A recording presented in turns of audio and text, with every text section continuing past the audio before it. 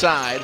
Extra rotation. Norvell Jr. back in the familiar, covered by Antetokounmpo, who just lazily lobs it towards half court. Norvell will take it and lick.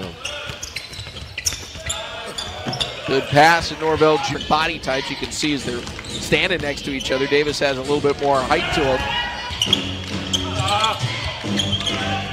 Corner shot is good from Norvell Jr. on the clock in the possession. Zach Norvell, Oh, he yeah. was had everything else. Absolutely. It was almost into the lane, kick to the corner. Norvell Jr. got another. Pargo kicks it out. Open three from the corner. Got it. Now Norvell Jr. Well, with six made threes already tonight. Harrison from the corner. Yes. I should say 11 boards now. Norvell Jr. against the smaller oh. defender gets the roll. She was not nice. Kaycott, good overplay on the Warriors. Norvell whips it out to Harrison for three. And it circles to be their largest of the game. Zach Norvell Jr.